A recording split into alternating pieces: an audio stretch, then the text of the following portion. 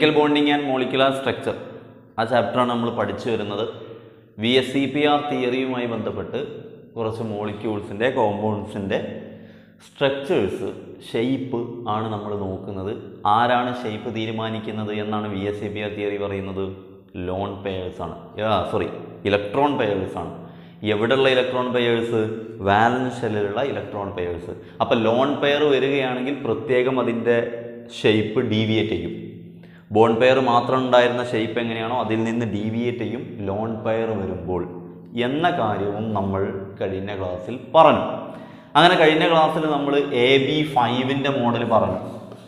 P C L ഫൈവിൽ നിന്ന് deviate ചെയ്യുന്ന എ ബി ഫൈവിൽ നിന്ന് ഡീവിയേറ്റ് ചെയ്യുന്നത് ഒരു ലോൺ പെയർ വരുമ്പോൾ A B four E one ആവും. രണ്ട് ലോൺ പെയർ വരുമ്പോൾ A B three E two ആവും. മൂന്ന് ലോൺ പെയർ വരുമ്പോൾ A B two E three ആവും. ഇത്രയും കാര്യങ്ങളും അതിന്റെ എക്സാമ്പിളുമാണ് നമ്മൾ കഴിഞ്ഞ ക്ലാസ്സിൽ പറഞ്ഞത്. ഇന്ന് നമുക്ക് പറയാനുള്ളത് രണ്ട് കോമ്പൗണ്ടിന്റെ എക്സാമ്പിളും കൂടിയാണ്. രണ്ട് എക്സാമ്പിൾസ് കൂടിയാണ് പറയാനുള്ളത് അഥവാ നമുക്ക് എ ബി സിക്സ് മോഡലാണ് പറയാനുള്ളത്. ഏതാണ്? A B six A B six മോഡലാണ് പറയാനുള്ളത്. A B six model lone pair ഇല്ലാത്തത് നമ്മൾ പഠിച്ചത് ഏതാ? എസ് എഫ് സിക്സ് ഇതിന് ലോൺ പെയർ ഇല്ല.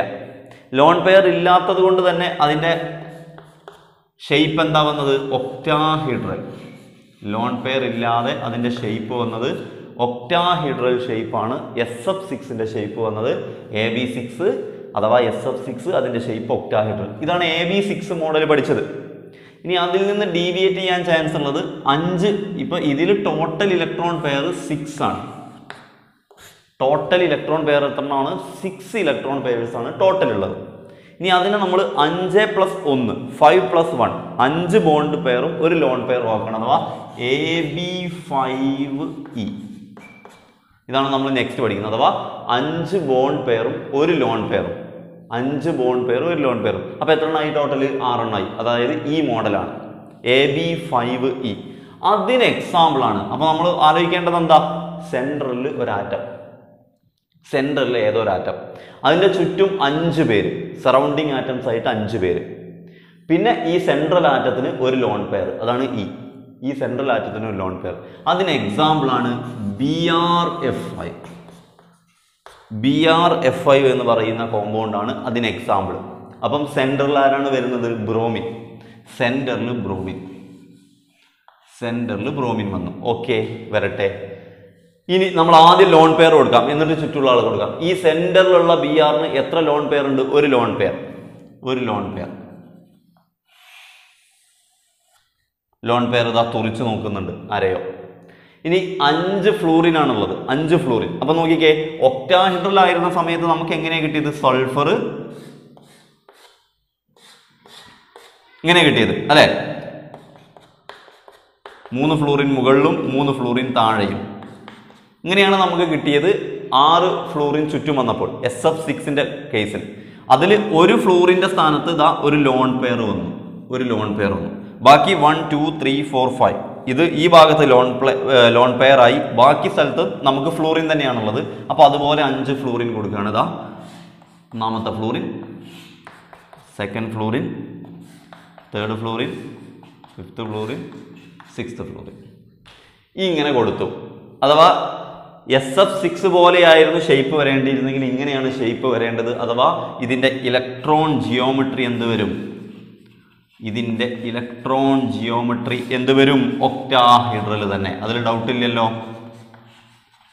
കാരണം ഇത് ഏത് മോഡലാണ്? എ ബി സിക്സ് മോഡലാണെങ്കിൽ ഇലക്ട്രോൺ ജിയോമെട്രി ഒക്ടാഹൈഡ്രൽ തന്നെ പക്ഷേ ഞാൻ പറഞ്ഞു ഇത് ലോൺ പെയറാണ് ഞാൻ പറഞ്ഞു ഇത് ലോൺ പെയർ ആണ്. അപ്പം ലോൺ പെയർ ആയതുകൊണ്ട് തന്നെ ലോൺ പെയർ ആയതുകൊണ്ട് തന്നെ ഞാൻ ഒരു മിനിറ്റ് ലോൺ പെയർ ഞാൻ താഴത്തേക്ക് വരക്കാം. ഒന്നിനുമില്ല നിങ്ങൾക്ക് ഷേപ്പ് വരക്കുമ്പം പ്രത്യേക ശരിക്കും മനസ്സിലാകാൻ വേണ്ടിയിട്ടാണ്.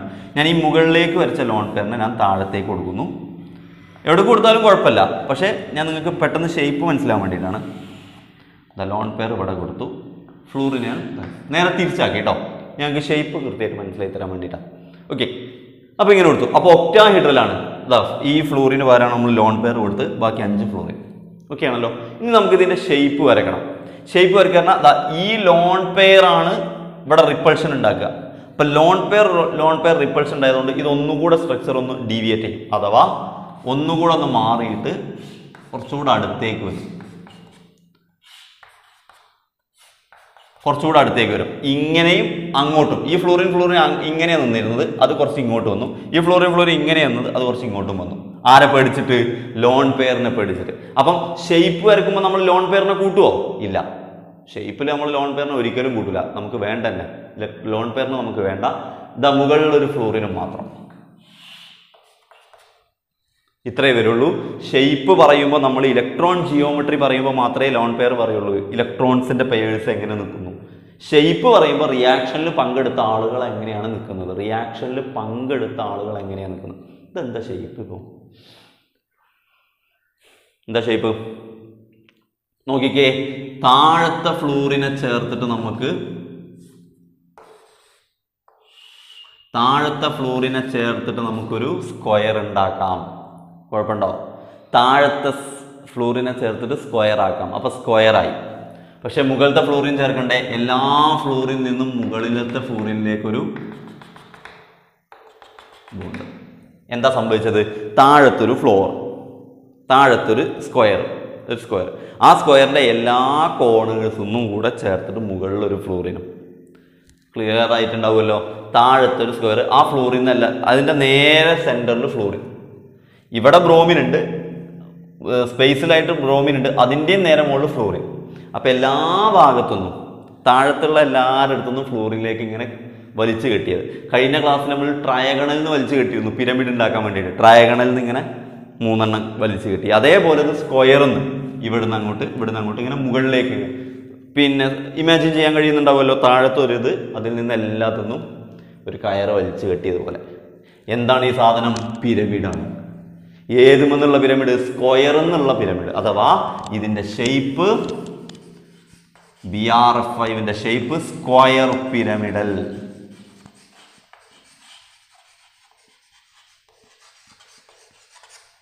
B R F ഫൈവിന്റെ shape square പിരമിഡലാണ് വരുന്നത്.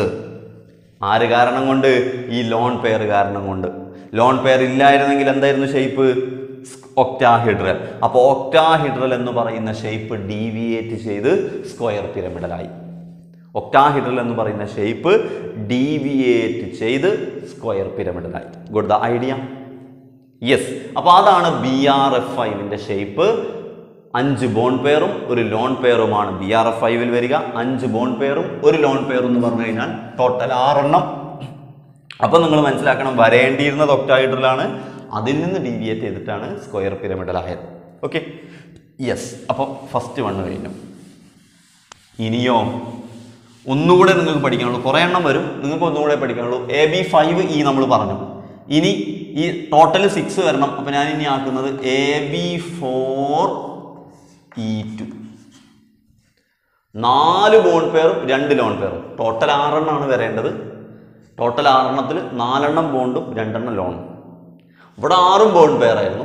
ഇവിടെ അഞ്ചെണ്ണം ബോണ്ട് ഒരു lone pair five plus one six ഇനി ഫോർ പ്ലസ് ടു ആക്കുകയാണ്. ഈ മോഡൽ അതിന്റെ അർത്ഥം എന്താ? സെന്ററിൽ ഒരാൾ വേണം. സെന്ററിൽ ഒരാൾ വേണം. ഡൗട്ടില്ല സെന്ററിൽ ഒരാൾ. ചുറ്റും നാല് പേര്. രണ്ട് ലോൺ പെയർ സെന്ററിൽ ഒരാൾ ചുറ്റും നാല് പേര് രണ്ട് ലോൺ പെയർ സോറി രണ്ട് ലോൺ പെയർ ആരാണ് ഇതിന്റെ എക്സാമ്പിൾ ആരാണ് ഇതിന്റെ എക്സാമ്പിൾ ഇതിന് എക്സാമ്പിളാണ് എക്സി എഫ് ഫോർ മറക്കരുത്. തൊട്ട് മുമ്പത്തെ ക്ലാസ്സിൽ നമ്മൾ എക്സ് സി എഫ് ടുവിന്റെ ഷേപ്പ് എങ്ങനെ വരും എന്ന് പറഞ്ഞിരുന്നു. അത് എ ബി ഫൈവ് മോഡലാണ് സെന്ററിൽ ഒരാൾ ചുറ്റും രണ്ടാൾ അപ്പോൾ ഇതിന് മൂന്ന് ലോൺ പെയർ വരും. മൂന്ന് ലോൺ പെയർ രണ്ടെണ്ണം വരും. അപ്പോൾ എത്ര എണ്ണം ടോട്ടൽ രണ്ട് ബോൺ പെയർ മൂന്ന് ലോൺ പെയർ വരുമ്പോൾ two plus three five three plus sorry two plus three two plus three സിക്കൽ two five electron pair ആണ് ടോട്ടൽ അതിൽ വരുന്നത്. കഴിഞ്ഞ ക്ലാസ്സിൽ പഠിച്ചതിനെ കുറിച്ചാണ് പറയുന്നത്. എക്സ് സി എഫ് ടുവിന് രണ്ട് ബോൺ പെയറും മൂന്ന് ലോൺ പെയർ അഥവാ ടു പ്ലസ് ത്രീ എന്ന് പറഞ്ഞാൽ ഫൈവ് ആണ് ടോട്ടൽ വരിക. ഫൈവ് എന്ന് പറഞ്ഞാൽ ഏതിന്റെ മോഡൽ വരണം? എ ബി ഫൈവ് ഫൈവ് എന്ന് പറഞ്ഞാൽ ഏതിന്റെ മോഡൽ വരണം? എ ബി ഫൈവ് അഥവാ സെന്ററിൽ ഒരാൾ ചുറ്റും അഞ്ച് പേരുടെ അതായത് ട്രയഗണൽ ബൈപിരമിഡലിൽ നിന്ന് ഡീവിയേറ്റ് ചെയ്തത്. ഇതിന്റെ ഷേപ്പ് ലീനിയർ ആയിരുന്നു എന്നും നമ്മൾ പഠിച്ചതാണ്. ഓക്കെ ഇവിടെ നമ്മൾ പറയുന്നത് എക്സ് സി എഫ് ഫോർ എത്ര ബോൺ പെയറാ എത്ര ബോൺ പെയറാ നാല് ബോൺ പെയർ എത്ര ലോൺ പെയറാ രണ്ട് ലോൺ പെയർ സിനോണിൽ രണ്ട് ലോൺ പെയറാണ് ഈ സ്ട്രക്ചറിൽ വരിക. അപ്പോൾ ടോട്ടൽ എത്രയായി? ഫോറും ടൂവും ടോട്ടൽ സിക്സ് ഇലക്ട്രോൺ പെയർ അപ്പോൾ ഏതുപോലെ വരണം? ടോട്ടൽ സിക്സ് വരിക എന്ന് പറഞ്ഞാൽ ഏതുപോലെ വരണം? ഒക്ടാഹിഡ്രൽ പോലെ വരണം. ഞാൻ വരയ്ക്കുകയാണ് എക്സ് ഇ എക്സ് ഇ ഞാനിതാ മുകളിലേക്ക് ഒരു ലോൺ പെയറും വരക്കുന്നു. താഴത്തേക്ക് ഒരു ലോൺ പെയറും വരക്കുന്നു ലോൺ പെയർ രണ്ടും വരച്ചു. ഇതാ എക്സിയുടെ രണ്ട് ലോൺ പെയറും ഞാൻ വരച്ചു. സ്ട്രക്ചർ എഴുതുമ്പോൾ നമ്മൾ ഇവിടെ ലോൺ പെയർ കൊടുക്കണമെന്നില്ല. എക്സിയുടെ രണ്ട് ലോൺ പെയറും വരച്ചു. റിയാക്ഷനിൽ പങ്കെടുക്കാത്ത രണ്ടാളുകളെ ഓർബിറ്റലാക്കി വരച്ചു. ഇനി നാല് ഫ്ലൂറിൻ. നാല് ഫ്ലൂറിൻ എന്ന് പറഞ്ഞാൽ എങ്ങനെ നിൽക്കണം? ഇതാ നാല് ഫ്ലൂറിൻ. ഒക്ടാഹിഡ്രൽ പോലെയാണ് നിൽക്കുന്നതെങ്കിൽ ഇപ്പൊ ജിയോമെട്രി എങ്ങനെ വരണം? ഇലക്ട്രോൺസിനെ കൂട്ടി ചേർത്തിട്ടാണെങ്കിൽ ജിയോമെട്രി എങ്ങനെ വരണം? ഇതാ ഇങ്ങനെ ഇങ്ങനെ ഇങ്ങനെ ഇങ്ങനെ ഇങ്ങനെ വരണം. എന്താണ് ഇലക്ട്രോൺ ജിയോമെട്രി ഇലക്ട്രോൺ ജിയോമെട്രി എന്താണ്? Electron geometry octahedral electron geometry octahedral ആവാൻ കാരണം എന്താ? ഇത് കണ്ടാൽ മനസ്സിലാണെന്ന് നിങ്ങൾക്ക് ഇലക്ട്രോൺ ജിയോമെട്രി ഒക്ടാഹൈഡ്രൽ ആണ്. എങ്ങനെ നമുക്ക് മനസ്സിലാക്കാൻ പറ്റണം? നാലെണ്ണം ബോണ്ട് പെയർ ഉണ്ട്. രണ്ടെണ്ണം ലോൺ പെയർ ഉണ്ട്. അപ്പോൾ ടോട്ടൽ സിക്സ് ടോട്ടൽ സിക്സ് വന്നതുകൊണ്ട് ഇലക്ട്രോൺ ജിയോമെട്രി ഇലക്ട്രോണിന് ചേർത്ത് വരുന്നത് ഒക്ടാഹിഡ്രലാണ് ബട്ട് ഷെയ്പ്പ് എന്താ? ഷെയ്പ്പ് പറയുമ്പോൾ നമ്മൾ ഇയാളെ കൂട്ടൂല. മാത്രമല്ല ഇവരുടെ റിപ്പൾഷൻ കാരണം ഇവർ ഒന്നുകൂടെ അടുക്കും. അല്ലേ? ഇവരൊന്ന് താഴത്തേക്ക് വരും ഇവരൊന്ന് മുകളിലേക്കും പോകും. അഥവാ അവരുടെ റിപ്പൾഷൻ കാരണം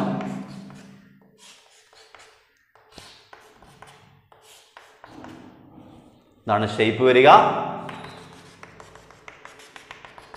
ഇത്രയും വരും. ബാക്കി രണ്ട് ലോൺ പേരാണ് അപ്പോൾ വരയ്ക്കേണ്ട ആവശ്യമില്ല. എന്താണ് ഷേപ്പ് സ്ക്വയർ സ്ക്വയർ ഒരു പ്ലെയിനിലാണ് അപ്പോൾ സ്ക്വയർ പ്ലനാർ നമ്മൾ ട്രയഗണൽ പ്ലനാർ എന്ന് പറഞ്ഞിരുന്നു ബി സി എൽ ത്രീക്ക് സെന്ററിൽ ബി ട്രയഗണൽ പോലെ സി എൽ വന്നു. ഇത് സ്ക്വയർ പ്ലനാർ അപ്പോൾ എന്താണ്? സ്ക്വയർ പ്ലനാർ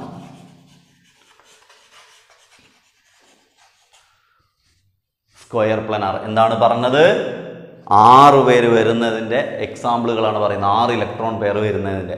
അതിൽ ലോൺ പെയർ ഒന്നും ഇല്ലാതെ വരുന്നത് A B six lone pair വരുന്നത് രണ്ടെണ്ണമാണ് നമുക്ക് പഠിക്കാനുള്ളത്. A B five A B four ഇനിയും വേണമെങ്കിൽ വരക്കാം A B three E two അല്ല sorry A B three E three അങ്ങനെയൊക്കെ നമുക്ക് ഇനി കൊടുക്കാം. പക്ഷേ A B two E four അങ്ങനെയൊക്കെ കൊടുക്കാം. പക്ഷേ അതൊന്നും നിങ്ങൾക്ക് പഠിക്കാനില്ല. ഇത്രയേ പഠിക്കാനുള്ളൂ. രണ്ടെണ്ണേ പഠിക്കാനുള്ളൂ. എളുപ്പമായല്ലോ. സന്തോഷമായല്ലോ. രണ്ടെണ്ണേ പഠിക്കാനുള്ളൂ. അപ്പോൾ ഏതൊക്കെയാണ് രണ്ടെണ്ണം? എ ബി ഫൈവ് ഇയിൽ ബി ആർ എഫ് ഫൈവും എ ബി ഫോർ ഇ ടുവിൽ X C F four X C F four ഇതാണ് നമ്മുടെ structures V S C P R theory പ്രകാരം നമുക്ക് പഠിക്കാനുള്ള കോമ്പൗണ്ട്സുകൾ ഇതാണ്. അപ്പോൾ ഇതിന്റെ ഷേപ്പ് സ്ക്വയർ പ്ലനാർ അപ്പോൾ ഒക്ടാഹിഡ്രൽ ആവേണ്ടിയിരുന്ന ഷേപ്പ് ഡീവിയേറ്റ് ചെയ്തിട്ട് എന്തായി? സ്ക്വയർ പ്ലനാറായി ഓക്കെ അപ്പോൾ V S C P R theory very very interesting shape എങ്ങനെ വരുന്നു? സ്ട്രക്ചർ എങ്ങനെ വരുന്നു എന്നുള്ളത് ആര് പറഞ്ഞു? ആര് പറഞ്ഞു? B S C P R theory അപ്പം ഈ തിയറി പഠിക്കുമ്പോൾ നിങ്ങൾ മെയിനായിട്ട് മനസ്സിലാക്കേണ്ടത് എന്താ?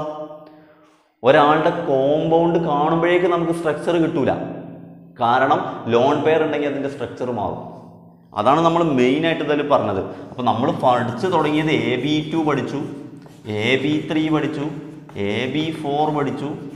എ ബി ഫൈവ് പഠിച്ചു എ ബി സിക്സ് പഠിച്ചു. ഇതിനൊക്കെ എക്സാമ്പിളായിട്ട് B E C L two എഴുതി ബി സി എൽ ത്രീ എഴുതി സി എച്ച് ഫോർ എഴുതി പി സി എൽ ഫൈവ് എഴുതി എ ബി സിക്സിന് എസ് എഫ് സിക്സും എഴുതി. എ ബി സിക്സിന് എസ് എഫ് സിക്സും എഴുതി. ഇത്ര പേരെ എഴുതി. ഇത് ഇത്രയും കോമ്പൗണ്ട് നിങ്ങൾക്ക് കോമ്പൗണ്ട് നോക്കിയിട്ട് തന്നെ പറയാം. രണ്ട് പേരാണ് വരുന്നതെങ്കിൽ അപ്പുറത്തും ഇപ്പുറത്തും ലീനിയർ മൂന്ന് പേരാണ് വരുന്നതെങ്കിൽ ട്രയഗണൽ നാല് പേരാണ് വരുന്നതെങ്കിൽ ടെട്രാഹിഡ്രൽ ടെട്ര നാല് ഹെഡ് വരുന്ന ആൾ ടെട്രാഹിഡ്രൽ അഞ്ചെണ്ണം വരികയാണെങ്കിൽ trigonal bi tri plus bi trigonal bi വേണമെങ്കിൽ ആറ് പേര് വേണമെങ്കിൽ എട്ട് ഹെഡ് വരും അഥവാ ഒറ്റാഹിഡ്രൽ ഇത് ലോൺ പെയർ ഇല്ലാത്തതിന്റെ എക്സാമ്പിളാണ് പഠിച്ചത്. ലോൺ പെയർ ഇല്ലാത്തതിന്റെ എക്സാമ്പിളാണ് പഠിച്ചത്. ലോൺ പെയർ ഉള്ളതിന്റെ എക്സാമ്പിൾ പഠിക്കുമ്പോൾ ഞാൻ ഇനി ഒരു റാൻഡമായിട്ട് ഒരു കോമ്പൗണ്ട് പറയാം. എന്നിട്ട് അതിന്റെ ഷേപ്പ് നമ്മൾ പഠിച്ചത് തന്നെ.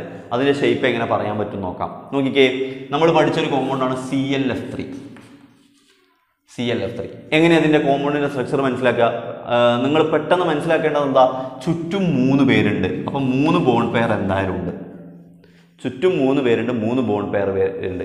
പിന്നെ ക്ലോറിൻ ഇവിടെ ഒക്റ്ററ്റ് കംപ്ലീറ്റ് ആക്കാൻ. ഞാനത് വിശദീകരിച്ച് പറയുന്നില്ല. നമ്മൾ ലൂയിസ് ഡോട്ട് റെപ്രസെന്റേഷനിൽ പഠിച്ചതാ. എങ്ങനെയാണ് ഒക്റ്ററ്റ് വരയ്ക്കാൻ മൂന്ന് ഫ്ലോറിൻ വരച്ചു. പിന്നെ ക്ലോറിന്റെ ഒക്റ്ററ്റ് കംപ്ലീറ്റ് ആക്കാൻ എത്ര ലോൺ പെയർ വേണം നോക്കുക. അപ്പോൾ ടോട്ടൽ അവിടെ വരുന്നത്? ടോട്ടൽ അവിടെ വരുന്നത്? ക്ലോറിന്റെ രണ്ട് ലോൺ പെയർ വേണം മൂന്ന് ബോൺ പെയറും വരും. മൂന്ന് ബോൺ പെയറും വരും. രണ്ട് ലോൺ പെയറും വരും. അഥവാ ടോട്ടൽ എത്ര എണ്ണം വരുന്നുണ്ട്? അഞ്ചെണ്ണം വരുന്നുണ്ട്. ഇങ്ങനെ മനസ്സിലാക്കണം. ടോട്ടൽ അഞ്ചെണ്ണം വരുന്നുണ്ട്. ടോട്ടൽ അഞ്ചെണ്ണം വരുന്നത് ഏതാ? പി സി എൽ ഫൈവ് മോഡലാണ്. അപ്പോൾ ഇതിന്റെത് വരേണ്ടിയിരുന്നത് ട്രയാഗണൽ ബൈ പിരമിഡലാണ് ട്രയാഗണൽ ബൈ പിരമിഡലാണ് ഇതിന്റെ ഇലക്ട്രോൺ ജിയോമെട്രി വരിക. ഇലക്ട്രോൺ ജിയോമെട്രി വരിക ട്രയാഗണൽ ബൈ അഥവാ സി എൽ ഉണ്ടാവും മൂന്ന് എഫ് ഉണ്ടാവും രണ്ട് ലോൺ പേറും ട്രയാഗണൽ ബൈ പിരമിഡലാണ് വരേണ്ടത്. പക്ഷേ അതിന്റെ ഷേപ്പ് ഡീവിയേഷൻ സംഭവിച്ചിട്ട് സീസോ ഷേപ്പോ സീസോ തന്നെയല്ലേ ഇത്? സീസോ ഷേപ്പോ അല്ല സീസോ അല്ല സീസോ എസ് എഫ് ഫോർ അല്ലേ? സി എൽ എഫ് ത്രീയുടെ ഷേപ്പ് എന്താ നമ്മൾ എഴുതിയിരുന്നത്? ടി ഷേപ്പ് ആവും. അല്ലേ? സി എൽ സെന്ററിൽ എഫ് എഫ് രണ്ടെണ്ണം മുകളിൽ രണ്ടെണ്ണം മൂന്ന് താഴത്ത്. ടി ഷേപ്പ് ആവും സി എൽ എഫ് ത്രീ എന്ന് നമുക്ക് പറയാൻ കഴിയണം. ട്രയഗണൽ ബൈപിരമിഡിൽ നിന്ന് ഡീവിയേറ്റ് ചെയ്തിട്ട് ടി ഷേപ്പ് ആകും. ഇങ്ങനെയാണ് നമ്മൾ പറയേണ്ടത്. എക്സ് സി എഫ് ടു ആവുമ്പോൾ എക്സ് സി എഫ് ടു ആകുമ്പം എന്താ പറയേണ്ടത്? രണ്ട് ബോൺ പെയർ എന്തായാലും ഉണ്ട്. പ്ലസ് ഇതിന്റെ ചുറ്റും മൂന്ന് ലോൺ പെയർ ഉണ്ട്. അപ്പോൾ ഏത് ഷേപ്പിനെ ആ ഫൈവ് ഇലക്ട്രോൺ പെയർ അഥവാ ട്രയഗണൽ ബൈപിരമിഡൽ പോലെ വരേണ്ടതാണ്. പക്ഷേ രണ്ട് പേരെ ചുറ്റുമുള്ളതുകൊണ്ട് ലീനിയാർ വരും. ഡീവിയേറ്റ് ചെയ്തിട്ട്. എക്സ് ഇ എഫ് ഫോർ എങ്ങനെ വരുന്നു? എച്ച് ടു ഒ എങ്ങനെ വരുന്നു? എച്ച് ടു ഒ ഏത് സ്ട്രക്ചറാണ് വരേണ്ടത്? രണ്ട് ബോൺ പെയർ രണ്ട് ബോൺ പെയർ മാത്രമേ ഉള്ളൂ. അല്ല ഓക്സിജന് രണ്ട് ലോൺ പെയർ ഉണ്ട്. അപ്പോൾ രണ്ട് ലോൺ പെയർ അപ്പോൾ ടോട്ടൽ എത്ര എണ്ണം നാലെണ്ണം. ടോട്ടൽ നാലെണ്ണം വരുന്നത് ഏതാ? ഇതാണ്. ടെട്രാഹിഡ്രൽ പോലെ വരേണ്ട സ്ട്രക്ചറാണ് പക്ഷേ ടെട്രാഹിഡ്രൽ പോലെ വരേണ്ട സ്ട്രക്ചറിൽ ഇവരെ കൂട്ടൂല.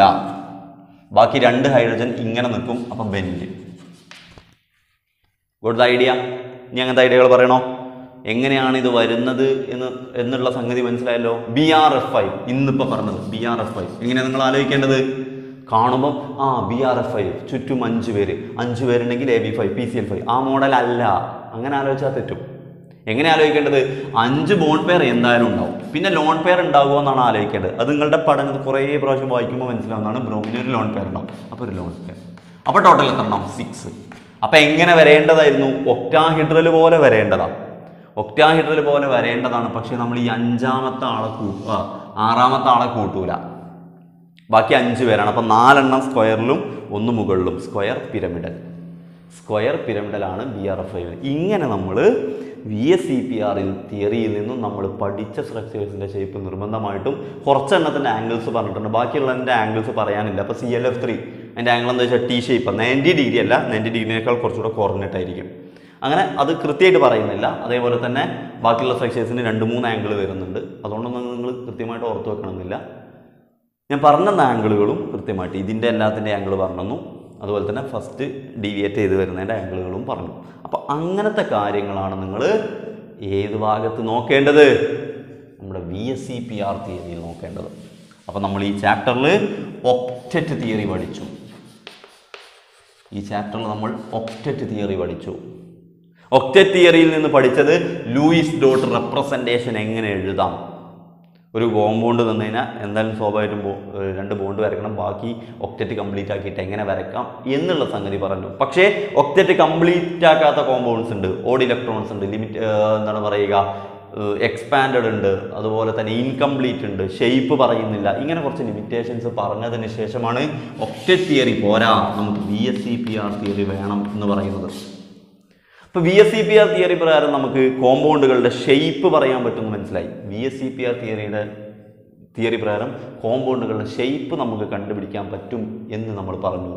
പക്ഷേ നിങ്ങൾ പറയുന്നുണ്ടാവും ആ സാർ ഇപ്പോൾ പറയും പക്ഷേ ഇത് പോരാ അടുത്ത വേണം. അത് തന്നെയാണ് V S C P R തിയറിയിൽ നിന്ന് നമുക്ക് ഷേപ്പ് കണ്ടുപിടിക്കാൻ പറ്റും. പക്ഷേ സിമ്പിൾ കോമ്പൗണ്ടിനൊക്കെ നമുക്ക് ഇതേപോലെ പ്രത്യേകം പറയാൻ പറ്റും. ഇതൊക്കെ ഞാൻ പറഞ്ഞൊക്കെ സിമ്പിൾ കോമ്പൗണ്ടാണ് കുറച്ചും കൂടെ അങ്ങ് കോം കോംപ്ലക്സ് ആയിട്ടുള്ള കോമ്പൗണ്ടുകളെ കുറിച്ച് പറയുമ്പം ഷേപ്പ് പറയാൻ V S C P R theory അത്ര പോരാ. അതിന് കുറച്ച് ലിമിറ്റഡ് അപ്ലിക്കേഷൻസ് ഉണ്ട് V S C P R തിയറിക്ക് limited applications ആണ്. കുറച്ചെണ്ണത്തിനൊക്കെ അപ്ലൈ ചെയ്യാം. അദ്ദേഹം പറഞ്ഞ ആ ലോൺ പെയറിന്റെ റിപ്പൾഷനൊക്കെ എല്ലാ കോമ്പൗണ്ടിനും നമുക്ക് അപ്ലൈ ചെയ്യാൻ പറ്റൂല. ഒന്ന്. രണ്ടാമത്തെ ഇപ്പോൾ പറഞ്ഞതിന്റെ തന്നെ കൂടുതൽ തിയററ്റിക്കലായിട്ട് നമ്മൾ അതിന്റെ എക്സ്പ്ലനേഷൻ നോക്കുമ്പോൾ നമുക്ക് തന്നെ തോന്നും അതിപ്പോൾ എങ്ങനെ അങ്ങനെ വരുന്നത്? കൂടുതലായിട്ട് പഠിച്ച് ചെല്ലുമ്പോൾ ഇതിപ്പോൾ ജസ്റ്റ് പെരിഫറൽ പഠനമാണ് ആംഗിൾ എങ്ങനെ വരുന്നതൊക്കെ. എന്റെ കൂടുതലായിട്ട് പറയുമ്പം സി എൽ അങ്ങനെ തന്നെയാണോ നിൽക്കേണ്ടത്? എഫ് അങ്ങനെ തന്നെയാണോ നിൽക്കേണ്ടത്? അങ്ങനെ ഡീറ്റെയിൽ ആയിട്ടുള്ള ഒരു പഠനം തിയററ്റിക്കൽ പഠനം നടത്തുമ്പോൾ തിയററ്റിക്കൽ സ്റ്റഡി പറയുമ്പോൾ കുറേ എണ്ണത്തിനായിട്ട് ഒരു കോൺട്രാഡിക്ഷൻ വരുന്നത് പോലെ തോന്നി. അപ്പോൾ വി എസ് സി പി ആ തിയറിയിൽ ചെറിയ ചെറിയ ലിമിറ്റേഷൻസ് എന്തൊക്കെ ലിമിറ്റേഷൻസ് കാര്യമായിട്ട് പഠിക്കാനൊന്നുമില്ല നിങ്ങൾക്ക്. ജസ്റ്റ് ഇതിന്റെ അപ്ലിക്കേഷൻസ് ലിമിറ്റഡ് ആണ്. അതുപോലെ തന്നെ തിയററ്റിക്കലി ഇത് ഇതിലേക്ക് അപ്രോച്ച് ചെയ്യുമ്പം അതിന്റെ അപ്ലി എന്താണ് പറയുക ഇതിന് കുറച്ച് ലിമിറ്റേഷൻസ് ഉണ്ട് തിയററ്റിക്കലി അപ്പം സിമ്പിൾ കോംപ്ലക്സിന് ഇത് അപ്ലിക്കബിൾ ആണ്. സിമ്പിൾ കോമ്പൗണ്ടിന്റെ ഷേപ്പ് പറയാൻ പെട്ടെന്ന് ഈസി ആയിട്ട് പറയാൻ കഴിയും. പക്ഷെ കോംപ്ലക്സ് ആയിട്ടുള്ള കോമ്പൗണ്ട്സുകൾക്ക് ഷേപ്പ് പറയുന്നതിൽ കുറച്ച് പ്രശ്നങ്ങൾ വന്നു. അങ്ങനെ V S C P R theory പോരാ. V S C P R theory പോരാ. അങ്ങനെയെങ്കിൽ ഇനി വരാനുള്ള തിയറി ആര്? V S C P R എന്ന തിയറി വീണു. ഇനി ആര്? ഇതാണ് നമ്മുടെ ചോദ്യം നെക്സ്റ്റ് അതെ.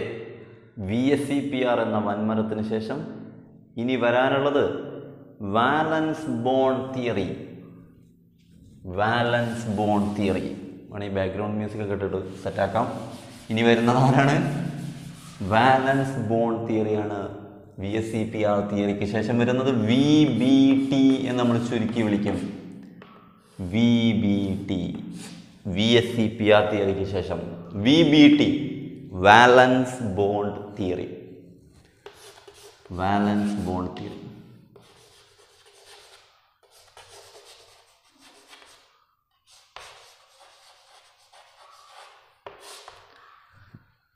എന്താണ് V S C P R തിയറിയും valence bond തിയറിയും തമ്മിൽ വ്യത്യാസം വരുന്നത്?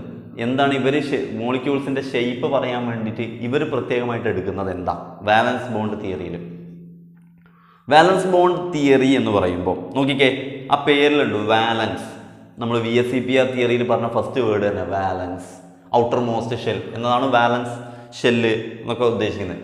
വാലൻസ് ബോണ്ട് ബോണ്ട് തിയറി എങ്ങനെയാണ് വാലൻസ് ബോണ്ട് ഉണ്ടാവുന്നത്? അതായത് ഔട്ടർ മോസ്റ്റ് ഷെല്ലിൽ വരുന്ന ബോണ്ട് എങ്ങനെയാണ്? ഔട്ടർ മോസ്റ്റ് ഷെല്ലിൽ വരുന്ന ബോണ്ട് എങ്ങനെയാണ് എന്നതാണ് പറയുന്നത്. അപ്പോൾ അത് പറയാൻ വേണ്ടിയിട്ട് ഇവർ വിചാരി ഇവർ ഉപയോഗിക്കുന്ന സംഗതികൾ എന്തൊക്കെയാണ് അതാണ് നമ്മൾ ഇന്ന് നോക്കാൻ പോകുന്നത്. നോക്കിക്കേ. Valence bond theory. നമുക്കറിയാം. റിയാക്ഷനിൽ പങ്കെടുക്കുക. നമ്മൾ ഈ ചാപ്റ്ററിൽ പഠിക്കുന്നത് എന്താ? Chemical bonding and molecular structure. കെമിസ്ട്രിയിലുള്ള elements നമ്മൾ പഠിക്കുന്ന എലമെന്റ്സ് ഒക്കെ കെമിക്കൽ ബോണ്ടിങ്ങിൽ ഏർപ്പെടുന്നു. അതിൽ ഡൗട്ടില്ലല്ലോ ഓരോ എലമെന്റും നമ്മൾ കെമിക്കൽ ബോണ്ടിങ്ങിൽ ഏർപ്പെടുന്നു അങ്ങനെ ബോണ്ടിങ്ങിൽ ഏർപ്പെടുന്നതിന്റെ ഫലമായിട്ടുണ്ടാവുന്ന മോളിക്യൂൾസിന്റെ കോമ്പൗണ്ട്സിന്റെ സ്ട്രക്ചർ എന്ത്? മോളിക്കുലാർ സ്ട്രക്ചർ എന്ത്? അതാണ് V S C P R തിയറിയിലൂടെ നമ്മൾ ഇങ്ങനെ ബോണ്ടിങ്ങിൽ ഏർപ്പെടുമ്പോൾ ഇതിന്റെ സ്ട്രക്ചർ ഇങ്ങനെയാവും മറ്റൊന്നിന്റെ സ്ട്രക്ചർ ഇങ്ങനെയാവും മറ്റൊന്നിന്റെ സ്ട്രക്ചർ ഇങ്ങനെയാവും പല രൂപത്തിലുള്ള സ്ട്രക്ചർ നമ്മൾ പറഞ്ഞത്. അത് തന്നെയാണ് നമ്മൾ അതിന്റെ ബാക്കിയും പറയുന്നത്. നമുക്ക് കിട്ടുന്ന കോമ്പൗണ്ടിന്റെ സ്ട്രക്ചർ എങ്ങനെ പറയാം? ബോണ്ടിങ്ങിൽ ഏർപ്പെടുമ്പോൾ ഉണ്ടാവുന്ന സ്ട്രക്ചർ എങ്ങനെ പറയാം? അപ്പോൾ നോക്കിക്കേ ബോണ്ടിങ്ങിൽ ഏർപ്പെടുന്നത് ആരാ? ഇലക്ട്രോൺസാണ് പക്ഷെ വാലൻസ് ബോണ്ട് തിയറിയിൽ മെയിനായിട്ട് പറയുന്നത് വാലൻസ് ബോണ്ട് തിയറിയിൽ മെയിനായിട്ട് പറയുന്നത് ബോണ്ടിങ്ങിൽ ഏർപ്പെടുന്നത് ഇലക്ട്രോൺസ് ഒക്കെ തന്നെയാണ് അതിലാർക്കും ഡൗട്ടില്ല പക്ഷെ വാലൻസ് ബോണ്ട് തിയറി ചോദിക്കുന്നത് ഈ ഇലക്ട്രോൺസ് വരുന്നത് എങ്ങനെയാണ് നടന്നുകൊണ്ട് ഓടിക്കൊണ്ട്. ഇലക്ട്രോൺസ് വരുന്നത് എങ്ങനെയാണ് ഇലക്ട്രോൺസ് എന്ന് പറഞ്ഞാൽ ഒരു ബോണ്ടിങ്ങിൽ ഏർപ്പെടാൻ വേണ്ടിയിട്ട് ഒരാളടുത്ത് നിന്ന് ഒരു ഇലക്ട്രോൺ വരുന്നു. മറ്റൊരാളടുത്ത് മറ്റൊരു ഇലക്ട്രോൺ വരുന്നു. ഈ ഇലക്ട്രോൺ വരുന്നു എന്ന് പറയുമ്പോൾ ഇലക്ട്രോൺ എങ്ങനെയാണ് വരുന്നത്? ഇലക്ട്രോൺ ഏത് രൂപത്തിലാണ് വരുന്നത്? കാറിലാണോ? ബൈക്കിലാണോ? സൈക്കിളിലാണോ? ഇലക്ട്രോൺ എങ്ങനെയാണ് വരുന്നത്? ഇലക്ട്രോൺ എവിടെയാണ് കാണപ്പെടുന്നതെന്ന് സ്ട്രക്ചർ ഓഫ് ആറ്റത്തിൽ നമ്മൾ പഠിച്ചു. ഇലക്ട്രോൺ കാണപ്പെടുന്നത് ഓർബിറ്റലിലാണ് അപ്പോൾ ഇലക്ട്രോൺ വരുന്നത് എങ്ങനെയാണ് ഓർബിറ്റലാണ് ഇലക്ട്രോണിന്റെ വണ്ടി. ഇപ്പം നിങ്ങളെ വീട്ടിലേക്ക് കുറച്ച് ഗസ്റ്റ് വരിക എന്ന് വിചാരിക്കുക നിങ്ങളെ വീട്ടിലേക്ക് കുറച്ച് ഗസ്റ്റ് വരിക അപ്പോൾ വരുന്ന ഗസ്റ്റുകൾ ഒരു മൂന്ന് പേരുണ്ട്. ഇവർ വരുന്നത് കാറിലാണ്. രണ്ട് പേരാന്ന് വിചാരിക്കുക ഈ രണ്ട് പേര് വരുന്നത് കാറിലാണ്. അപ്പോൾ ആ രണ്ട് ഗസ്റ്റുകൾ വരുന്നത് കാറിലാണ്. വേറെ രണ്ട് ഗസ്റ്റുകളുണ്ട്. ആ രണ്ട് ഗസ്റ്റുകൾ വരുന്നത് ബൈക്കിലാണ്. പല രൂപത്തിൽ അവർക്ക് വരാം. ഇതേപോലെ ഇലക്ട്രോണും വിരുന്ന് വരികയാണ്.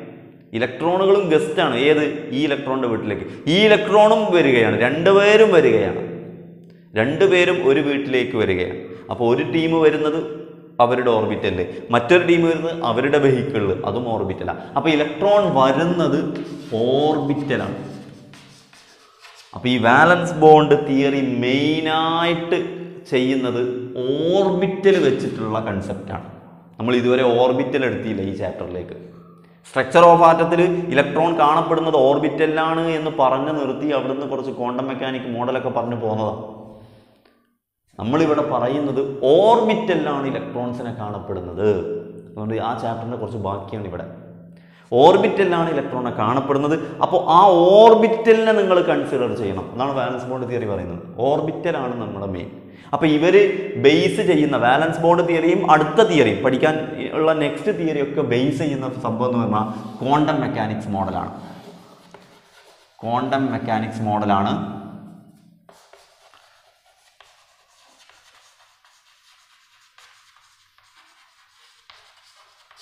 ക്വാണ്ടം മെക്കാനിക്സ് മോഡൽ വെച്ചിട്ടാണ് ഇവർ വാലൻസ് ബോണ്ട് തിയറി പറയുന്നത്. ക്വാണ്ടം മെക്കാനിക്സ് മോഡലത്തെ അപ്രോച്ചുകൾ അപ്പം ഫസ്റ്റ് പഠിച്ച ഒക്ടറ്റ് തിയറി ജസ്റ്റ് അത് ഷേപ്പ് പറഞ്ഞതേ ഇല്ല. V S C P R തിയറിയിൽ ജസ്റ്റ് ഇലക്ട്രോൺസ് വരുമ്പം എങ്ങനെ മാറുന്നു? ഇലക്ട്രോൺസ് ഉണ്ടെങ്കിൽ എങ്ങനെ മാറുന്നു എന്ന് മാത്രം പറയുന്നു. ഇതിൽ ഇലക്ട്രോൺസ് വരുന്നത് തന്നെ ഓർബിറ്റൽ എന്ന കൺസെപ്റ്റ് വെച്ചിട്ടാണ് അപ്പോൾ വാലൻസ് ബോണ്ട് തിയറി നമ്മൾ ഇനി അതിലേക്ക് കിടക്കുക. അപ്പോൾ അതിന്റെ ഒരു ഐഡിയ ഒരു ഇൻട്രൊഡക്ഷൻ ആണ് പറഞ്ഞത്. നോട്ടിൽ എഴുതാനുള്ള ഭാഗങ്ങളൊന്നുമല്ല. ജസ്റ്റ് കുറച്ച് ഇൻട്രൊഡക്ഷൻ പറഞ്ഞാണ്. ഇലക്ട്രോൺ വരുന്നത് എങ്ങനെയാണ്? ഓർബിറ്റലിലാണ്. അപ്പോൾ ഇനി ഞാൻ പറയാൻ പോവാണ്. നോക്കിക്കേ. ഇലക്ട്രോൺ ഓർബിറ്റലിലാണ് വരുന്നത്. അപ്പോൾ ക്വാണ്ടം മെക്കാനിക്സ് മോഡൽ വെച്ചിട്ട് ഓർബിറ്റലിലാണ് ഇലക്ട്രോൺ ഇലക്ട്രോൺ വരുന്നത് ഓർബിറ്റൽ ഉപയോഗിച്ചിട്ടാണ് എന്ന് നമ്മൾ പറഞ്ഞു. ഇനി സിമ്പിളായിട്ട് ആലോചിച്ചേ. നമ്മളുടെ മുമ്പിൽ എച്ച് ടു എന്ന് പറയുന്ന ആളുണ്ട്. എച്ച് ടു എന്റെ കൂടെ ഇങ്ങനെ സിം ഫോളോ ചെയ്ത് കൃത്യം ഫോളോ ചെയ്ത് വരണം. അപ്പോൾ കൃത്യമായിട്ട് മനസ്സിലാവും. എച്ച് ടു നമ്മൾ എന്താണ് പഠിക്കുന്നത് എന്നുള്ള ഒരു ഐഡിയ ഉണ്ടാവണം. നമ്മൾ എന്തിനെ കുറിച്ചാണ് പഠിക്കുന്നത്? വെറുതെ ഇങ്ങനെ കുറേ തിയറി അങ്ങനെ പഠിച്ചു പോകുമ്പോഴാണ് ടഫ് ആവുക ഈ ചാപ്റ്റർ അല്ലെങ്കിൽ സിമ്പിളാണ് ഈ ചാപ്റ്റർ അപ്പം എന്താണ് നമ്മൾ ഈ ഇതിൽ പറയുന്നത് എന്നുള്ളതൊന്ന് പറയണം. എച്ച് ടു അപ്പോൾ എങ്ങനെയാണ്? നമ്മൾക്ക് ആവശ്യം എന്താണ്? എച്ച് ടു എങ്ങനെയാണ് ഉണ്ടായത്? എച്ച് ടു അപ്പോൾ നമ്മൾ ഒക്ടറ്റ് തിയറി പ്രകാരമാണെങ്കിൽ പറയും എച്ച് ടു എന്ന് പറയുന്നത് എച്ചിലൊരു ഇലക്ട്രോൺ ഉണ്ട് അടുത്ത എച്ചിലൊരു ഇലക്ട്രോൺ ഉണ്ട് ആ ഇലക്ട്രോൺ ഇലക്ട്രോൺ ചേർന്നിട്ട് ബോണ്ട് വരും. അങ്ങനെയാണ് എച്ച് ടു ഉണ്ടാവുന്നത്. അപ്പോൾ ഒക്ടറ്റ് കംപ്ലീറ്റ് ആക്കാൻ വേണ്ടി രണ്ടെണ്ണം രണ്ടെണ്ണം ഇതാണ് നമ്മൾ ഒക്ടറ്റ് തിയറിയിൽ പഠിക്കുന്നത്. എച്ച് ടു റിയാക്ട് ചെയ്യുന്നു. രണ്ട് ഇലക്ട്രോൺ ഷെയർ ചെയ്യുന്നു. സിമ്പിളായിട്ട് പറഞ്ഞു. എച്ച് ടു ഒക്ടറ്റ് തിയറിയാണ് പറഞ്ഞത്. ഇനി V S C P R theory പ്രകാരമാണെങ്കിലും ഇത് തന്നെയാണ് പറയുക. ഇവിടെ ബോൺ പെയർ ലോൺ പെയർ ഒന്നും ഇല്ലാത്തതുകൊണ്ട് എച്ചും എച്ചും കൂടെ ബോൺ പെയർ ആവും. അപ്പോൾ ഇത് അത് നേരെ നിൽക്കും. അപ്പോൾ ഇതിന്റെ shape ലീനിയറാണ് V S C P R theory പ്രകാരം. നോക്കിയാൽ ഞാൻ നമ്മളുടെ ഒരു സിമ്പിളായിട്ടുള്ളൊരു കോമ്പൗണ്ട് എങ്ങനെ നമ്മൾ മോളിക്കുലാർ സ്ട്രക്ചറിനെ കുറിച്ചാണ് ഈ ചാപ്റ്ററിൽ പഠിക്കുന്നത്. അപ്പോൾ എച്ച് ടു എങ്ങനെ ഉണ്ടാവുന്നു എന്നതിനെ കുറിച്ചാണ് പറയുന്നത്. എച്ച് ടു ഉണ്ടാവുന്നത് ഒരു ഹൈഡ്രജൻ ഒരു ഭാഗത്തുനിന്ന് വരുന്നു. മറ്റൊരു ഹൈഡ്രജൻ മറ്റൊരു ഭാഗത്തുനിന്ന് വരുന്നു. രണ്ട് പേർക്കും ഓരോ ഇലക്ട്രോൺ വീതമുണ്ട്. അതവർ ഷെയർ ചെയ്യുന്നു. എച്ച് ടു ആവുന്നു. അതവർ ഷെയർ ചെയ്യുന്ന ലീനിയർ ആയതുകൊണ്ട് ഷേപ്പ് ലീനിയർ ആണെന്ന് V S C P theory പ്രകാരവും നമുക്ക് പറയാം. ഗോഡ് ദ ഐഡിയ അത് സിമ്പിളാണോ അത് കറക്റ്റ് അല്ലേ? അപ്പോൾ എച്ച് ടു ഉണ്ടാവുന്നത് എങ്ങനെയാണ്? രണ്ട് തിയറി വെച്ചിട്ട് പറയുന്നത്. ഇനി നമ്മൾ വാലൻസ് ബോണ്ട് തിയറി പ്രകാരം അവർ പറയുന്നത്. അതെ ഒരു ഭാഗത്തുനിന്ന് ഒരു എച്ച് വരുന്നു. നിങ്ങൾ പറഞ്ഞ പോലെ തന്നെ സമ്മതിച്ചു. ഒരു ഭാഗത്തുനിന്ന് ഒരു ഹൈഡ്രജൻ വരുന്നു. മറ്റേ ഭാഗത്തു നിന്ന് മറ്റൊരു ഹൈഡ്രജനും വരുന്നു. ഓക്കെ വരുന്നു. അവർക്ക് ഒന്നിക്കണം. ഈ രണ്ട് ഹൈഡ്രജനും തമ്മിൽ ഒന്നിച്ചിട്ട് എച്ച് ടു ആവുക എന്നുള്ളതാണ് കൺസെപ്റ്റ് അപ്പോൾ ബാലൻസ് ബോണ്ട് തിയറി പറയുന്നത് നിങ്ങൾ വെറുതെ എച്ച് വരുന്നു എന്ന് പറയാതെ എച്ചിന്റെ ആര് വരുന്നു എന്ന് പറയൂ. ഹൈഡ്രജന്റെ ആര് വരുന്നു? ഹൈഡ്രജന്റെ ആര് വരുന്നു? ഹൈഡ്രജൻ വരുന്നു എന്ന് പറഞ്ഞാൽ ആരാണ് വരുന്നത്? ഹൈഡ്രജന്റെ ഒരു ഇലക്ട്രോൺ ആണ് വരുന്നത്. ഈ മറ്റൊരു ഭാഗത്ത് നിന്ന് ഹൈഡ്രജൻ വരുന്നു എന്ന് പറഞ്ഞാൽ ആരാണ് വരുന്നത്? ഹൈഡ്രജന്റെ ഇലക്ട്രോൺ ആണ് വരുന്നത്. ഇപ്പം നിങ്ങൾ വീട്ടിൽ നിന്ന് ഒരാൾ പോകുമ്പം നിങ്ങൾ വീട്ടിന്റെ പേരെന്താണെന്ന് വെച്ചാൽ നിങ്ങൾ വീട്ടിന്റെ ഒരു പേരുണ്ടാവും. കാക്കപ്പറമ്പെന്നോ അങ്ങനെ എന്തെങ്കിലും അപ്പോൾ കാക്കപ്പറമ്പന്മാരിന്ന് വരുന്നുണ്ട്.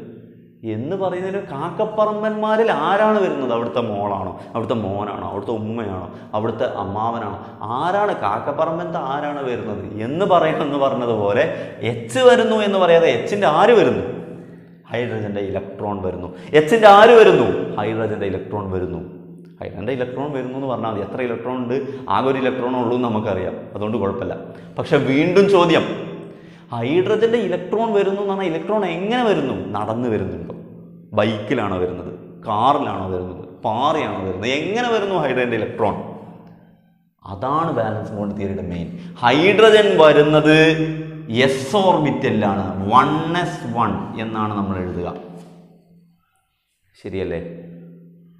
One S two two S two two P six three S two three P six structure of ആറ്റത്തിൽ പഠിച്ച കോൺഫിഗറേഷൻ ഹൈഡ്രജനിൽ ഒരു ഇലക്ട്രോൺ ഉള്ളൂ.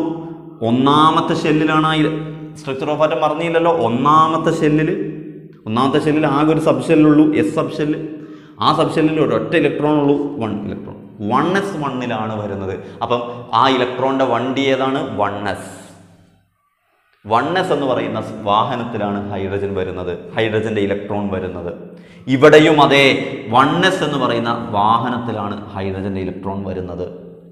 അപ്പൊ ഇവർ ബോണ്ടിങ്ങിൽ ഏർപ്പെടുക എന്ന് പറഞ്ഞാൽ ഇവർ ബോണ്ടിങ്ങിൽ ഏർപ്പെടുക എന്ന് പറഞ്ഞാൽ ആര് ബോണ്ടിങ്ങിൽ ഏർപ്പെടുക എന്നുള്ളതാണ്? വണ്ണസും വണ്ണസും ബോണ്ടിങ്ങിൽ ഏർപ്പെടുക എന്നുള്ളതാണ്.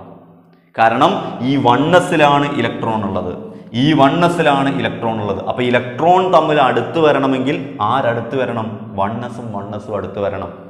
സിമ്പിളാണ് കൺസെപ്റ്റ് വണ്ണസും വണ്ണസും അടുത്ത് വരണം.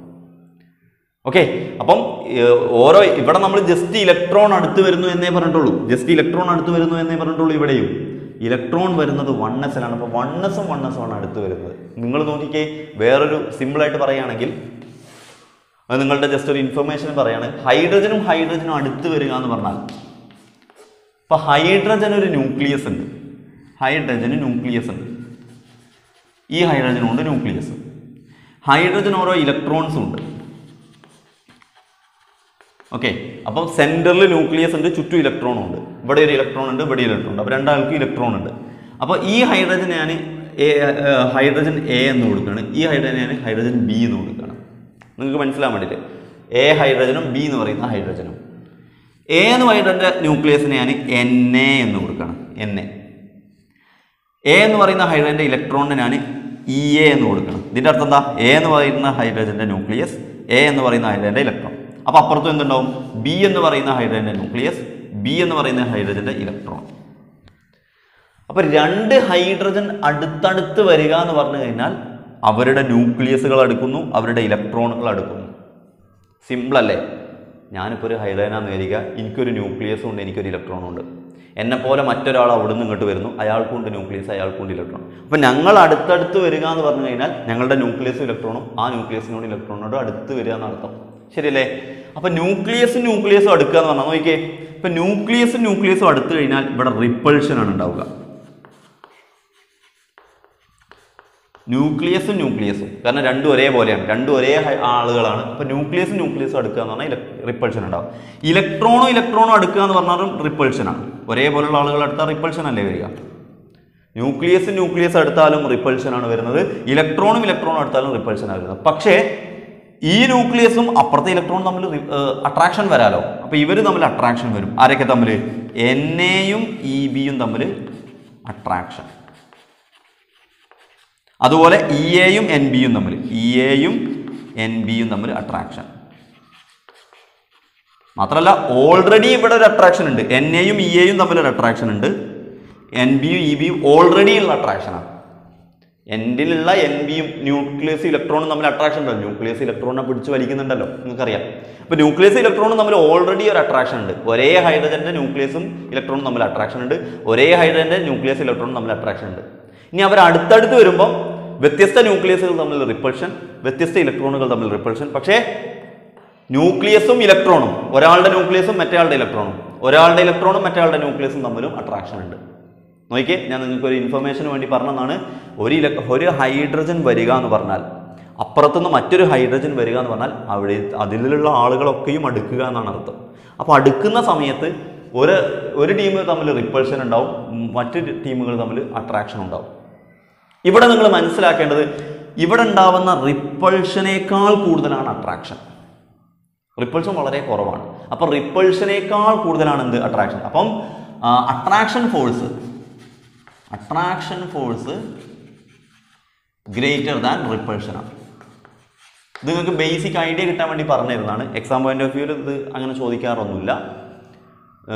അട്രാക്റ്റീവ് ഫോഴ്സ് റിപ്പൾഷൻ ആരൊക്കെ തമ്മിൽ? അങ്ങനെയൊന്നും ചോദിക്കാറില്ല. നമ്മൾ ഈ പറയുന്ന ഭാഗമാണ് ചോദിക്കുക. പക്ഷേ നിങ്ങളുടെ ഒരു ബേസ് കിട്ടിക്കോട്ടെ അടുത്ത് വരുമ്പോൾ എന്തൊക്കെ സംഭവിക്കുന്നത് കിട്ടട്ടെ എന്ന് വിചാരിച്ചിട്ടാണ് പറഞ്ഞു തരുന്നത് അട്രാക്ഷൻ ഫോഴ്സ് ആയിരിക്കും കൂടുതൽ ആരെക്കാളും? റിപ്പൾസീവ് ഫോഴ്സിനേക്കാളും അങ്ങനെ അട്രാക്റ്റീവ് ഫോഴ്സ് കൂടുതലായതുകൊണ്ടാണ് ഇവർ നമ്മൾ എന്ത് ചെയ്യുന്നത്? ബോണ്ടിങ്ങിൽ ഏർപ്പെടുന്നത്. റിപ്പൾസീവ് ഫോഴ്സ് ആണ് കൂടുതലെങ്കിൽ ബോണ്ടിങ്ങിൽ വരാൻ പറ്റുമോ? ഇല്ല. ഒരു വിട്ടു നിൽക്കും. ബോണ്ടിങ് ആവോ എച്ചും എച്ചും തമ്മിൽ കൂടിച്ചേരുമോ? ഇല്ല. കാരണം റിപ്പൾസീവ് ഫോഴ്സ് ആകുമ്പോൾ അവർ വിട്ടു വിട്ടു പോകും നിങ്ങൾ ഒരാളുടെ വീട്ടിലേക്ക് ഗസ്റ്റ് പിന്നെ വിരുന്നായിട്ട് പോവാണ്. അയാൾ നിങ്ങളെ വീട്ടിലേക്ക് കയറ്റുന്നില്ലെങ്കിൽ അയാളങ്ങ് കണ്ടുവിടും. നിങ്ങൾ പറഞ്ഞ് നന്നാക്കാനൊക്കെ വേണ്ടിയിട്ട് പണ്ടെന്നോ തെറ്റിയതാ. അപ്പോൾ പറഞ്ഞ് നന്നാക്കാനൊക്കെ വേണ്ടി നിങ്ങൾ ചെന്നതാണ് അയാൾ നിങ്ങളെ കയറ്റൂല. അയാൾ നിങ്ങളെ റിപ്പൾസീവ് ആണ്. അപ്പോൾ പിന്നെ നിങ്ങൾക്ക് ആ വീട്ടിന്റെ ഉള്ളിൽ കയറാൻ പറ്റുമോ? ഇല്ല. ഓക്കെ അപ്പൊ റിപ്പൾസീവ് ഫോഴ്സ് കൂടുതലാണെങ്കിൽ ബോണ്ടിങ് നടക്കൂല. പക്ഷേ അട്രാക്റ്റീവ് ഫോഴ്സ് ആണ് കൂടുതലെങ്കിൽ അട്രാക്റ്റീവ് ഫോഴ്സ് ആണ് കൂടുതലെങ്കിൽ നിങ്ങൾക്ക് വീട്ടിൽ കയറി ഇരുന്ന് വർത്താനൊക്കെ പറഞ്ഞ് വെള്ളമൊക്കെ കുടിച്ച് ഫുഡൊക്കെ കഴിക്കാം. അപ്പോൾ അതാണ് ബോണ്ടിങ്ങിൽ ഏർപ്പെടൽ. മനസ്സിലായല്ലോ? അപ്പോൾ ഹൈഡ്രജനും ഹൈഡ്ര അപ്പോൾ നിങ്ങൾ ജസ്റ്റ് ഒന്ന് എഴുതി വെക്കുക. ഹൈഡ്രജനും ഹൈഡ്രജനും ഹൈഡ്രജനും ഹൈഡ്രജനും ബോണ്ടിങ്ങിൽ ഏർപ്പെടുമ്പോൾ അവർ കം ക്ലോസ് ടു ഈച്ച് അടുത്തടുത്ത് വരുമ്പോൾ എന്തൊക്കെയാണ് സംഭവിക്കുന്നത്?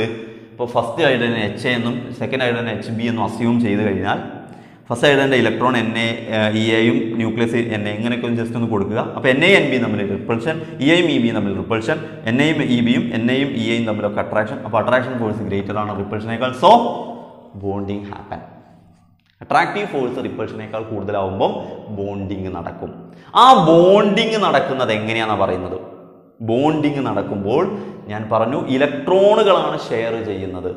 ഷെയറിങ് തമ്മിൽ നടക്കുന്നത് ആർക്കാണ്? ഇലക്ട്രോണുകൾ തമ്മിലാണ് ഈ ഇലക്ട്രോൺ എവിടെയാണ് കാണപ്പെടുന്നത്? ഹൈഡ്രജന്റെ കേസിൽ വൺ എസിൽ ഈ ഇലക്ട്രോൺ എവിടെയാണ് ഹൈഡ്രജന്റെ കേസിൽ കാണപ്പെടുന്നത്? വൺ എസിൽ വൺ എസിലാണ് ഇലക്ട്രോൺ കാണപ്പെടുന്നത്. ഇവിടെയും വൺ എസിലാണ് ഇലക്ട്രോൺ കാണപ്പെടുന്നത്. എന്ന് പറഞ്ഞാൽ ഈ വൺ എസിന്റെ ഷേപ്പ് എന്താ? വൺ എസ് എന്ന് പറയുന്ന വെഹിക്കിളിന്റെ ഷെയ്പ്പ് എന്താ? വൺ എസിന്റെ ഷേപ്പ് സ്ഫെറിക്കലാണ് വൺ എസിന്റെ ഷേപ്പ് സ്ഫെറിക്കലാണ് പഠിച്ചതാ.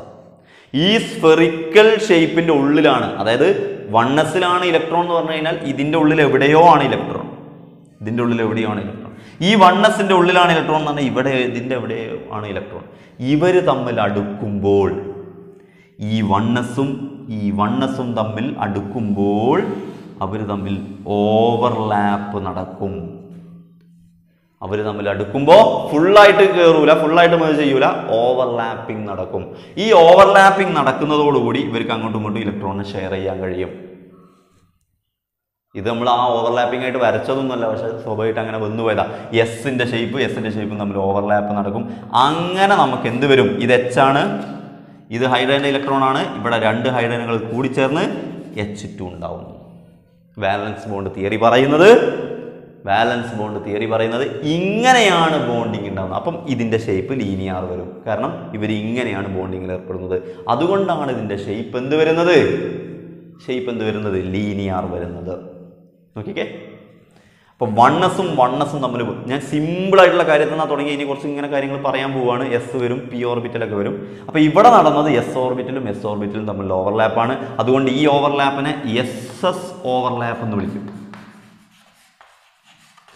എസ് എസ് ഓവർലാപ്പ് എന്ന് വിളിക്കും. അപ്പോൾ എസ് ഓ എസ് ഓർബിറ്റലിന്റെ ഷേപ്പ് ഇതാണ് എസ് ഓർബിറ്റലിന്റെ ഷേപ്പ് ഇതാണ്. അപ്പം എസ് എസ് ഓവർലാപ്പ് എന്ന് വിളിക്കും ഇതിനെ.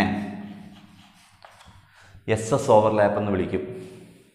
മനസ്സിലായോ? അപ്പോൾ ഓവർലാപ്പ് എന്ന് പറഞ്ഞു കഴിഞ്ഞാൽ രണ്ട് ഓർബിറ്റലുകൾ തമ്മിൽ ജസ്റ്റ് എന്ത് ചെയ്യുക?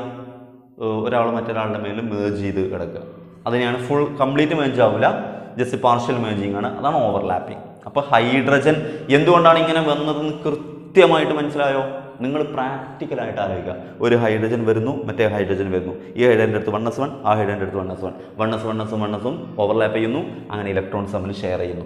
അപ്പോൾ വാലൻസ് ബോണ്ട് തിയറി മെയിനായിട്ട് പറഞ്ഞത് ഓർബിറ്റൽ ഷെയറിങ്ങിലൂടെയാണ് ഇലക്ട്രോൺ വരുന്നത്. ഈ ഓർബിറ്റലുകളെ നിങ്ങൾ വരയ്ക്കാൻ ശ്രമിച്ചാൽ ഓർബിറ്റലുകളുടെ ഷേപ്പ് ഓർബിറ്റലുകൾ തമ്മിലാണ് ഓവർലാപ്പ് ചെയ്യുന്നത് എന്ന കൺസെപ്റ്റ് വെച്ച് നിങ്ങൾ മനസ്സിലാക്കാൻ ശ്രമിച്ചാൽ നിങ്ങൾക്ക് ഏതൊരു സ്ട്രക്ചറിന്റെയും ഏതൊരു കോമ്പൗണ്ടിന്റെയും ഷേപ്പ് നിങ്ങൾക്ക് മനസ്സിലാക്കാൻ പറ്റുന്നതാണ് ബാലൻസ് ബോണ്ട് പറയുന്നത്. ഇതുവരെ നമ്മൾ പഠിച്ചത് ഈ ഓവർലാപ്പ് പറഞ്ഞ് ഓർബിറ്റിൽ പറഞ്ഞിട്ടില്ലായിരുന്നു. അപ്പോൾ ഇനി നെക്സ്റ്റ് ക്ലാസ്സിൽ നമുക്ക് പി ഓർബിറ്റൽ എങ്ങനെ ഓവർലാപ്പ് ചെയ്യും? ബാക്കിയുള്ള ആളുകൾ എങ്ങനെ ഓവർലാപ്പ് ചെയ്യും? അങ്ങനെ ഓവർലാപ്പ് ചെയ്യുമ്പോൾ ഇവരുടെ ഷെയ്പ്പ് എങ്ങനെ വരും എന്നുള്ള കൃത്യമായ കാര്യങ്ങളാണ് ഇൻട്രസ്റ്റിംഗ് ആയിട്ടുള്ള വി എസ് സി പി ആ തിയറിയേക്കാൾ ഒന്നുകൂടെ ഇൻട്രസ്റ്റിംഗ് ആയിട്ടുള്ള. ഇത് കൃത്യമായിട്ട് ഫോളോ ചെയ്യുന്നവർക്കുണ്ടല്ലോ നല്ല ഇൻട്രസ്റ്റിംഗ് ആയിട്ടുള്ള ചാപ്റ്റർ കൂടിയാണ്. അങ്ങനെ ഇൻട്രസ്റ്റിംഗ് ആയിട്ടുള്ള കാര്യങ്ങൾ. നെക്സ്റ്റ് ക്ലാസ്സിൽ നമുക്ക് നോക്കാം. ഇന്നത്തെ ക്ലാസ് ഇവിടെ വൈൻഡപ്പ് ചെയ്യുന്നു. താങ്ക്